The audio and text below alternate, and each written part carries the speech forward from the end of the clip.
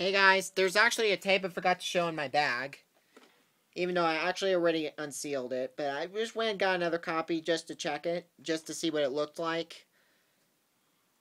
And so anyways, here we go. The 2006 features a Legend of Zorro second copy. I now have two copies. I'm actually going to keep both of them. Probably ask me why. This copy is actually even later. Look at that. Per date, April 6, 2006. I'm still keeping this copy because of that. That is really cool. But anyways, hope you guys enjoyed this video. Quick update. I might actually do the opening to this copy tonight, even though it's the same preview as my other copy. But I'm just, I might just do it anyway. Just uh, do a re-upload version. But anyways, hope you guys enjoyed this video, and I'll see you guys in my next video.